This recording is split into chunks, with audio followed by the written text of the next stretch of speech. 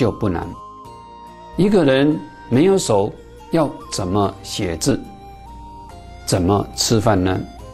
国际知名口足画家谢昆山，虽然因为意外失去了双手，但是他并没有因此而自怨自哀，反而以幽默开朗的态度面对生活中种种的困难。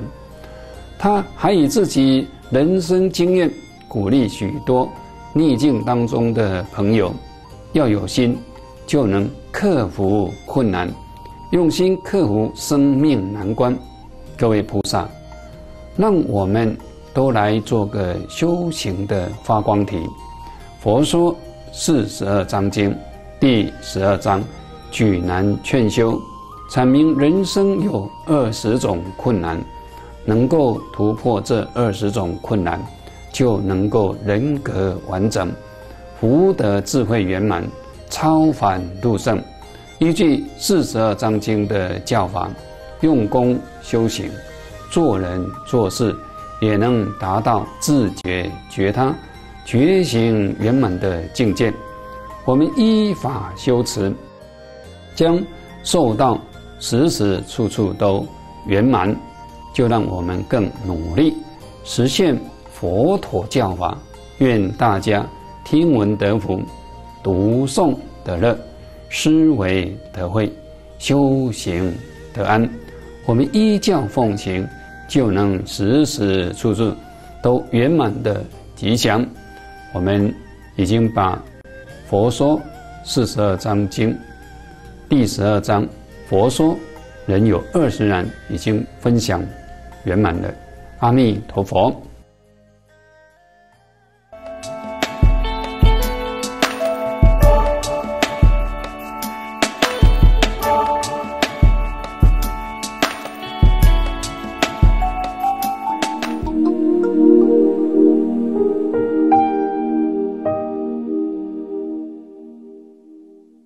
各位菩萨，阿弥陀佛。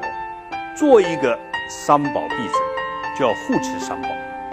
第一个，我们要多造佛像，代表佛陀的身体；第二个呢，护持佛陀的口业，那我们叫多印经典、佛书去推广；第三个，护持佛陀的心，那是代表什么？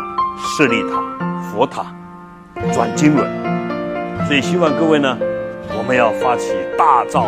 大型的转经轮、小型的转经轮、大小的舍利塔，来放置在任何地方，让大家有机会接触到佛陀的教法、佛陀的心，来圆满佛陀的身口意。阿弥陀佛。生命基金会募集菩萨大德的发心，共同供养佛陀身语意，庄严世界，净化人心。欢迎护持佛像、经典、舍利塔制作，划拨账号：一九六五八四八二，一九六五八四八二，户名：中华印经协会。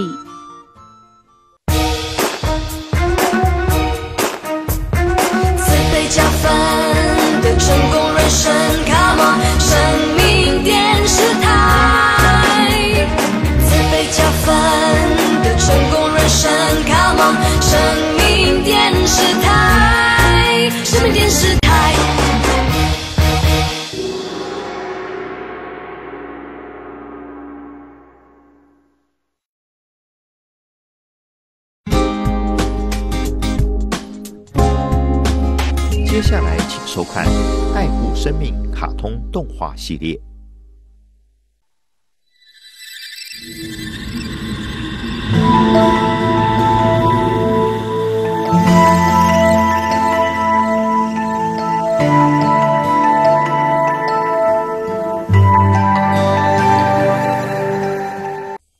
山路来救，全家脱难。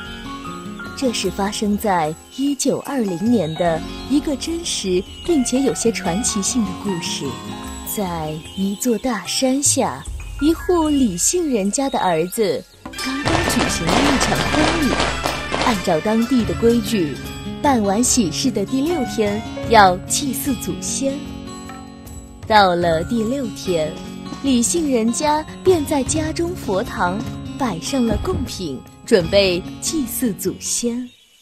同一时间，在山上，一位猎人正带着猎狗在追赶一只山鹿。小黑，快追！别让那只鹿跑了！哼，这只鹿跑到山下了，那也更好，没有山林，看它还能往哪儿躲。小黑，我们快追！这只山鹿飞快地跑下山，而猎人和猎犬紧跟在后。过没多久，山路无处可逃，便跑进了李先生家，躲在供奉祖先的供桌下面。按照村里的规矩，媳妇过门第六天是要祭祖的。来，你给祖先上炷香吧。嗯，好的。啊！有只山鹿跑进来了。啊！奇怪，这只山鹿怎么会跑到这里来呀？小黑，快！山鹿它跑进这户人家的家里了，它在那里。哈哈，这次看你还能往哪儿跑？先生，请问你有什么事吗？老先生，我在山上追赶这只山鹿。谁知道它竟然闯进你们家，请允许我将它带走吧。我说这只鹿怎么会跑进我家呢？原来是你在后面追赶它啊！是啊，我追了它好久呢，请你们让我将它带走吧。新娘觉得这只山鹿在她祭祖上香的时候跑进来，并且躲到供桌的底下。或许这只山鹿跟他们有缘，因此她希望不要让猎人带走山鹿。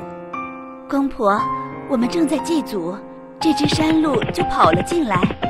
也许这只山鹿与我们一家有什么姻缘，因此我们一定要救山鹿啊！嗯，有道理。这位先生，这只鹿跟我们家有缘，你就放过它吧。放过它，这怎么可以呢？我可是追了它很久的，怎么能这么容易就放过它呢？这位先生，这只鹿跑进了我们的家，这是缘分呐，我们不能让你把它带走杀掉啊。他之所以跑进了你们家，那是因为我追赶到你们家的缘故。不过你们可以将这只鹿买下来。不知道你要卖多少钱啊？只要你们给我二十块银元，这只鹿就是你们的了。啊，二十块银元太贵了呀！我迎娶媳妇全部才用了十五块银元。二十块银元，天哪，这也太贵了！你们如果嫌贵的话，就把山路给我，又不是我逼着你们买的。你这是趁机敲诈我们呐！算了。你把山路带走吧，哈哈，就是嘛，你们有它也没有用。不行，你不能把这只山鹿带走。公公婆婆，这只山鹿为了逃命而躲进了我们家，这就是跟我们有缘啊。我们可不能眼睁睁的看着它被带走而丢掉性命啊。可是二十块银元的价格也实在太高了，我们和他商量看看。是否能算便宜一点，先生？十块银元可以吗？不要再跟我讲价了，最少十五块银元。媳妇啊，我们家娶你过门已经花费了十五块银元，现在我们哪里还能再拿出十五块银元呢？您二位老人家同意买路的话，我愿意将陪嫁的十五块银元全部拿出来买路。好吧。既然你有此善心，我们也就答应了。哈哈，谢谢！现在这只鹿是你们的了。小黑，我们走了。猎人离开后，媳妇从供桌下叫出山鹿：“山鹿，没事了，猎人已经走了，你可以出来了。”好了，没事了。你可以回到山林了。新娘用十五块银元救山鹿的消息很快的在村子里传了开来。左邻右舍都取笑新娘太傻，竟然会用这么多钱买屋放书。老婆，最近村里的人都在议论你，说你花了那么多的钱买了一只鹿，却又把它放掉了，实在可惜呀。随他们怎么说，这件事情，我觉得自己做的并没有错。转眼间，两年过去了，新娘已生下了一个可爱的男孩。孩子刚满周岁，新娘推着婴儿车在院子里陪着孩子玩耍。就在这个时候，两年前被新娘放生的那只山鹿，突然闯进了他们家院子。咦，这不是两年前的那只山鹿吗？你怎么又跑到我们家里来了？山鹿突然用头顶住了婴儿车，然后飞快地跑了出去。不好了，山鹿偷走了我的孩子！快把孩子还给我！老婆，发生什么事情了？老公，快快追上那只鹿，它偷走了我们的孩子啊！李先生一家人见山鹿偷走了孩子，便急急忙忙地追了出去。就在一家人追着山鹿到屋外后，听到一声巨响，回头一看，只见屋后的高山坍落，将他们的房子完全掩埋了。原来山鹿为了报答新娘的救命之恩，便用了这种办法引诱他们一家人逃出屋子。山鹿见目的达到，便将婴儿车放下，转身离去。如果不是这只山鹿，今天我们全家就会被山石活活压死啊！对呀，那只山鹿今天是来报恩的呀。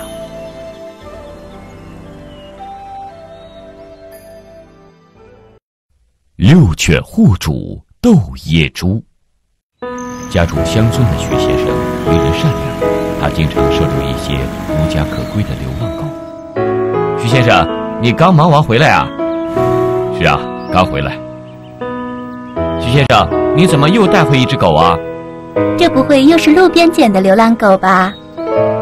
是啊，这只狗被主人遗弃了。我发现它的时候，它瘦得不成样子，正在垃圾桶里找东西吃呢。我见它可怜，就把它带回来养。徐先生，你已经收留多少只狗了啊？有三四只了吧？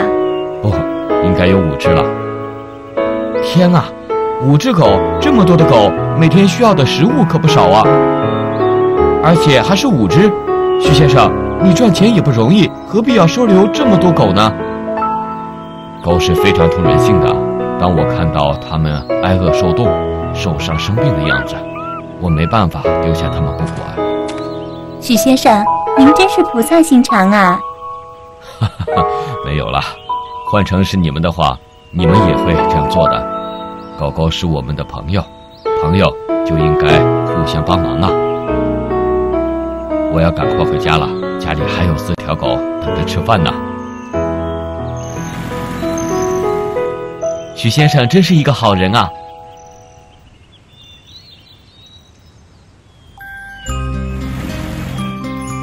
小家伙，我们到家了。别怕，别怕。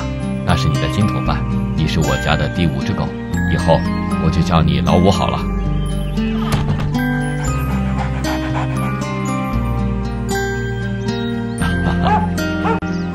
哈 哈，老大怎么样？饿了吧？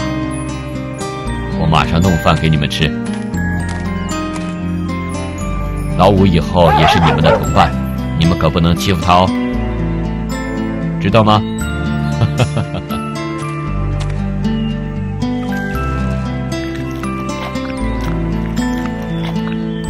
慢慢吃，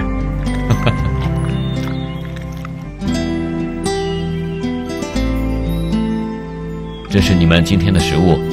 我要出门工作了，晚上才会回来。你们要好好看家哦，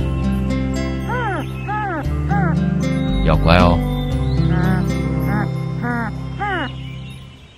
徐先生农闲时会到工厂去打零工。